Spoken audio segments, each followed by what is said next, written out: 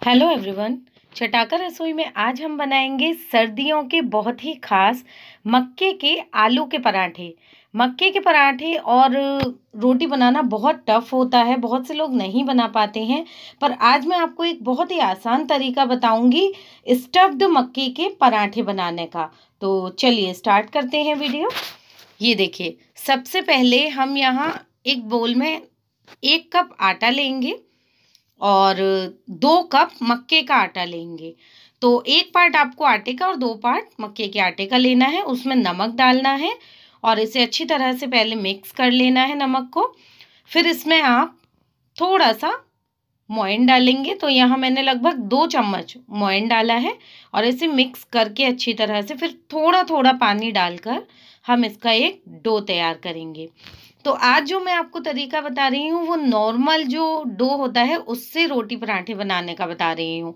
कोई हमें इसे बॉईल नहीं करना है, कोई इसमें झंझट नहीं करना है। सिंपल जो हम जिस तरह से आटा लगाते हैं, आटा गूंथते हैं, उसी फॉर्म में मैं आपको बताऊँगी कि कितने आसान तरीके से आप स्टफ्ड मक्के के पराठे बना सकते हैं। आलू के पराठे बनाएँगे आज हम। ये देखिए, बहुत ही सॉफ्ट डो लगाना है क्योंकि ये रखने के बाद थोड़ा सा आटा थिक हो जाता है, फूल जाता है। तो ये देखिए थोड़ा सा ऑयल लगा के इसे हम दस मिनट के लिए रख देंगे। दस मिनट इसे रख दिया है, तब तक हम स्टफिंग तैयार कर लेते हैं। तो यहाँ आलू को आपको कद्दूकस करके लेना है, क्योंकि अगर आलू मोटा रह जाएगा तो वो पराठे में स्टफ़ करते टाइम पराठा फट सकता है। ये देखिए बारीक बारीक हमने इसे कद्दूकस कर लिया। अब इसमें हम डालेंगे स्वाद अनुसार नमक, लाल मिर्ची पाउडर और चटपटी सी एक स्टफिंग तैयार करेंगे, अमचूर पाउडर, गरम मसाला, धनिया पाउडर और खूब सारा बारीक कटा हुआ हरा धनिया और हरी मिर्ची। और ये सब डालकर हम इसे मिक्स कर लेंगे अच्छी तरह से। एक चटपटी सी हम स्टफिंग बना लेंगे इसकी।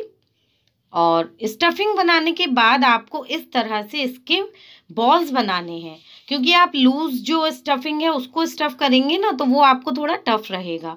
आप इस तरह से पहले नॉर्मली जितने पराठे बनाने हैं, उतने आप आलू की स्टफिंग के बॉल्स बना लीजिए और बॉल्स बनाकर तैयार कर लीजिए। फिर हम देखते हैं, दस मिनट बाद हमारा डो सेट हो चुका है। अब हम लेंगे ऐसी ट्रांसपेरेंट थैली। जो कि बहुत ही आसानी से आपको अपने घर में मिल जाएगी तो आपको ना थैली के दो पार्ट चाहिए। आपके पास कैसी भी थैली हो, आप उसको दो पार्ट्स में काट लीजिए। फिर एक पार्ट को इस तरह से चकले पर रख कर उस पर थोड़ा सा ऑयल लगा दीजिए। ये बहुत ही खास ट्रिक है फ्रेंड्स, वीडियो को स्किप किए बिना पूरा वॉच करिएगा। चैनल पर नए हैं तो चैनल को सब्सक्राइब कर लीजिए। ये देखिए, अब हमने लिया डो और आटे को ना आपको एक कटोरी की शेप देनी है पहले। हाथ से दबाते हुए हल्का सा ऑयल लगाइए और कटोरी की शेप देकर इसमें वो बॉल रख के धीरे धीरे से अंदर प्रेस करते हुए बंद कर दीजिए। ये देखिए, कितनी आसानी से ये स्टफ़ हो चुका है। और अगर आप लूज़ वाली स्टफिंग रखते हैं ना तो वो आपको बहुत प्रॉब्लम होती। ये देखिए कितना इजीली ये स्टफ़ हो चुका है। अब हमने इस पर ऑयल लगा दिया थोड़ा सा और और दूसरा वाला जो हमारा थैली का पार्ट था ना, वो हम इस पर रख कर और इसे इस तरह से बेल लेंगे। ये देखिए, बिना चिपके, बिना फटने का झंझट, बहुत ही आसान तरीके से मक्के के आलू के पराठे आप बना सकते हैं। आपको इसे घुमाने के लिए उठाना ही नहीं है। आपको इसे घुमाना है तो आप इसको थैली को घुमाते जाइए और ये गोल होता जाएगा। ये देखिए कितनी इजीली थैली हट गई। अब आप दूसरा पार्ट हटाने के लिए हाथ पर लीजिए पराठे को और सेकंड वाला पार्ट भी हटा दीजिए। ये देखिए, कितना बढ़िया हमारा मक्के का पराठा बिल चुका है। तवा गरम हो चुका है। तवे पर पराठा डालने से पहले आप उसे ऑयल से ग्रीस ज़रूर कर लीजिएगा, वरना पराठा चिपक जाएगा। तो ये देखिए, अब हमने इस पर पराठा डाल दिया है। और धीमी आँच पर आप इस पराठे को सेकिएगा, बहुत ही बढ़िया सिकता है ये। एकदम खस्ता, एकदम कुरकुरा बनता है ये। ये देखिए, बस धीमी आँच पर आप इसे सिकने दीजिए और जैसे ही आपको लगे कि ये सिक रहा है तो इसे पलट दीजिए। बहुत ज़बरदस्त ट्रिक मैंने आज आपको बताई है। इस ट्रिक से जिन्हें खाना नहीं बनाना आता होगा, वो भी पराठे रोटी बहुत आसान तरीके से बना सकते हैं। ये देखिए, अब इसे हम ऑयल या घी लगाकर जिसमें भी आप सेकना चाहते हैं, उसमें आप इसे धीमी आँच पर सेक लीजिए। अभी आपको दिखाऊँगी ये कितनी अच्छी तरह फूल जाएगा। है स्टफ़ पराठा, पर बहुत आसानी से फूल जाएगा। ये देखिए, इसका फूलना स्टार्ट हो चुका है पराठे का। और इस तरह से आप ना इसे प्रेस करते जाइए साइड से। ये देखिए आप इसको पलटें ना तो जो आपका ये बड़ा वाला स्पून है ना, इसी से पलटिएगा। हाथ से उठाएँगे तो ये टूट सकता है। तो सेकते टाइम आप इसे स्पून से ही पलट दीजिएगा। और ये देखिए, इस तरह से दबा दबा कर धीमी आँच पर आप इसे सेक लीजिए। बहुत बढ़िया पराठे बनते हैं। आप एक बार ज़रूर ट्राई करिएगा फ्रेंड्स।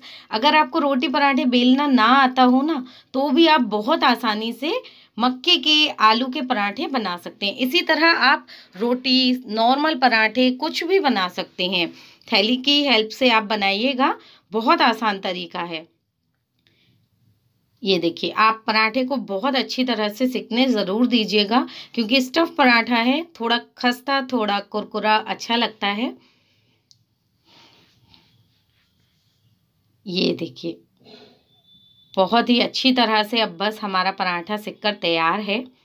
आप इसे किसी भी सब्ज़ी के साथ, दही के साथ, किसी भी चीज़ के साथ एंजॉय कर सकते हैं। ये देखिए फ्रेंड्स फ्रेंड्स आपको अगर वीडियो पसंद आ रहा हो तो इसे लाइक ज़रूर कर दीजिएगा। ये देखिए, पराठा तैयार है, अब इस पर हम लगाएँगे वाइट वाला बटर आप जो भी बटर लगाना चाहें बटर लगा दीजिए, किसी भी सब्ज़ी के साथ आप इसे एंजॉय करिए।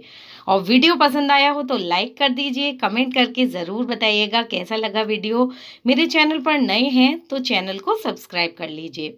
अब मैं दिखाती हूँ आपको पराठा अंदर से कितनी अच्छी तरह से सीख चुका है। ये देखिए, हमारा स्टफ्ड आलू का पराठा कितना बढ़िया और कितना टेस्टी बनकर तैयार है। फ्रेंड्स ऐसी ही आसान और नई नई रेसिपीज़ के लिए मेरे चैनल से जुड़े रहिए।